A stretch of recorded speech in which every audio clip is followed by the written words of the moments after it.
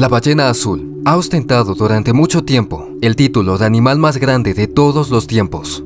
Un gigante oceánico que alcanza más de 30 metros de longitud y pesa más de 200 toneladas. Pero ahora, los paleontólogos han descubierto un inmenso cetáceo que era más corto pero posiblemente aún más pesado. Su nombre es Perucetus colossus. Y no, no es un jefe del mítico juego Shadow of the Colossus.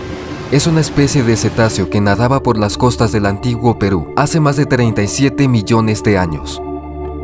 Bautizada como Perucetus colossus por el paleontólogo de la Universidad de Pisa, Italia, Giovanni Bianucci y sus colegas, la ballena prehistórica podría haber pesado más de 300 toneladas. La ballena de unos 18 o 20 metros de largo ha sido descrita hace poco en la revista Nature. El paleontólogo de la Universidad Nacional Mayor de San Marcos de Lima, Perú, y coautor del estudio, Mario Urbina, encontró el esqueleto parcial hace 13 años entre las rocas del Valle de Ica, en el sur de Perú. El hallazgo no resultó impresionante de inmediato, porque los huesos eran tan grandes que parecían más bien cantos rodados. Huesos que parecían piedras. Al principio, tuve que convencer a los demás miembros del equipo de que lo que había hallado era en realidad algún fósil, por su extraña forma, relata Eli Amson, coautor del estudio y paleontólogo del Museo Estatal de Historia Natural de Stuttgart, Alemania. Pero cuando los investigadores examinaron secciones finas de fragmentos del yacimiento, las extrañas piezas resultaron ser huesos y los equipos de campo se pasaron los 10 años siguientes liberando a perucetos de la roca. En total, los fósiles excavados en el Valle de Ica incluyen 13 vértebras, 4 costillas y parte de la cadera. La anatomía de los huesos, así como la época en la que la ballena vivía, cuando nadaba frente a las costas de Sudamérica, indican que era pariente del Basilosaurus, una ballena totalmente acuática que tenía un largo hocico lleno de dientes cortantes. Comparando los huesos conocidos del Perucetus con los esqueletos más completos de ballenas vivas y fósiles, Amsom y sus colegas pudieron estimar el tamaño del gigante resultó evidente que sus huesos eran extremadamente densos, gracias a un proceso conocido como osteoclerosis, en el que se llenan las cavidades internas. También eran enormes y crecían más en sus superficies exteriores, algo conocido en la zoología como paquiostosis. Según el equipo, las características de la ballena no estaban relacionadas con la enfermedad, sino que eran adaptaciones que le permitían flotar cuando buscaba alimentos en aguas poco profundas. Los científicos observaron características óseas similares entre las ballenas y los manatíes modernos, que también habitan en las zonas costeras en ciertas partes del mundo. Cada vértebra pesa más de 100 kilogramos, lo cual es completamente alucinante, afirma la doctora Rebecca Benion, del Real Instituto Belga de Ciencias Naturales en Bruselas. Se necesitaron varios hombres para mover los huesos al centro de piso del museo para que yo pudiera escanearlos en 3D. Prosigue Benion. La científica cuenta que cuando el equipo intentó perforar la primera vértebra para calcular su densidad ósea, el hueso era tan denso que el taladro se rompió.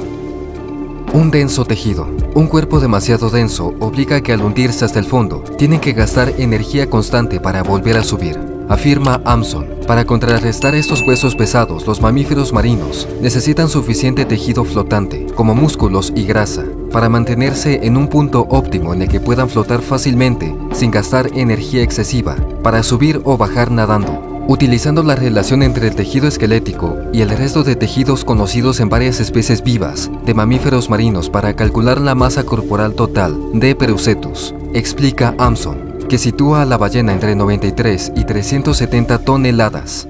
Si Perucetus se encontrara en el extremo más pesado de estas estimaciones, sería el animal más grande conocido, ya que la ballena azul, considerada hasta ahora el animal más grande que jamás vivió en la Tierra, puede pesar hasta 180 toneladas.